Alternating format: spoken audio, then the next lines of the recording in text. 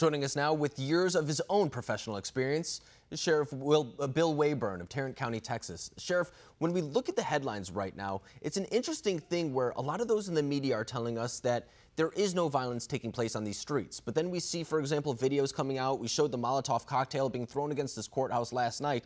And I do understand that for the most part during the day, these protests are very peaceful. But then night rolls around. And uh, like it's been for the past 61 days in Portland, that's where things get a little bit more violent. But why are people so unwilling to accept that there is violence at nighttime? It's an incredible thing that they're absolutely denying that there is violence going on out there, especially in Portland.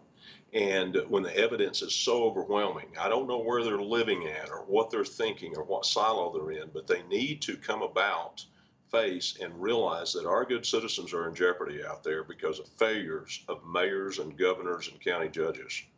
And to that last point, too, I think it's an important one. Uh, we may be talking about federal agents in these different cities, and we can talk about the constitutional limits or the debate behind that. But when we talk to the police chiefs and what they're saying, for example, the one in Seattle just last week was saying that they're hesitant to send out their officers on the streets because they're ill equipped to even handle these situations, that they would essentially be putting their own officers in danger as they try to quell these riots. What does that speak about this situation? Does that almost speak to a need for federal assistance? It certainly does. And, and you know, if we got four executives in government the mayors of cities, the county judges, the governor, and the president of the United States. If one fails, the other one's supposed to pick up the slack and so on and so forth. And it's gotten to the president of the United States because of complete failure of those governments out there. And when we talk about this issue of federal agents being deployed, right now, Portland is the epicenter of that conversation, but we may see it in the coming days. Uh, Chicago, we also hear that federal agents are going to be operating there on a more obs observationist type of uh, position, kind of overseeing what's happening there. But when we talk about this dispute between the federal agents and the police in the states, do you see a resolution taking place anytime in the near future, or do you think that this is a divide that we're going to continue to be seeing over the next couple months? Well, we could be seeing a divide in these cities where the mayors are objecting to the federal officers being there. Protecting federal property, I may add, is what their mission is on the ground there. Is that we may consider that divide, but we got to remember that why are cities created?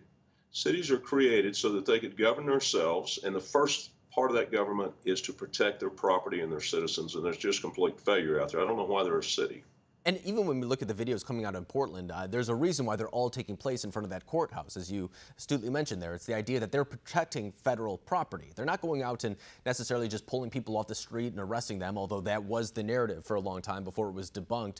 But that's not what's happening in the city of Portland. It's, uh, I mean, this is a situation that was happening even before the George Floyd protests. What was happening in Portland was a state of anarchy to some degree. But I do want to pivot a little bit, maybe wash our palate a little bit, because I want to talk about a movement that you're participating in and it's a Walk for America event. Can you break down exactly what that is for me and our viewers? Well, I tell you, it was an event that occurred last weekend right here in Fort Worth, Texas, where a young man who had had enough. And what he did was, is he said, I believe we should have a walk for America and say we're proud of our country, we're proud of our law enforcement, and come out and back the blue and back the flag.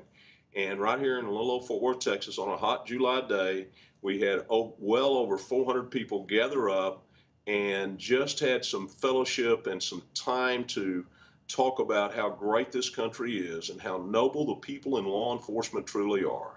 I mean, that's something that we don't hear enough about. I mean, it's one of those unfortunate things. You and I have talked about it before, but sometimes it takes a tragedy for us to really appreciate the police officers that do so much for us on a daily basis. So I want to kind of break through the big picture things and maybe get an anecdotal type of experience. What is it like being a police officer in Tarrant County, for example? Are you seeing these divisions that we're seeing on the streets elsewhere, or is it that more unity type of thing that you're talking about? I believe there's more unity here. We do have a fragment of our group that that stands against us, that that are anti-law enforcement, want to defund it. They're part of the the movement to do that, and uh, but the by far the majority of the good citizens of Tarrant County stand with their law enforcement, want law enforcement, and insist upon rule of law. And that's where we're at. And we, we've got a great citizenry to uh, rely upon.